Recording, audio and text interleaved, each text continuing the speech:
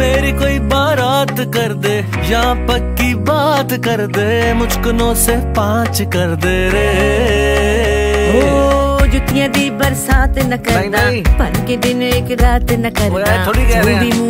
आंदा है कहना वे। ओ ਮੇਰੇ ਯਾਰਾਂ ਦੇ ਹੋ ਗਏ ਨੇ 6 ਬੱਚੇ।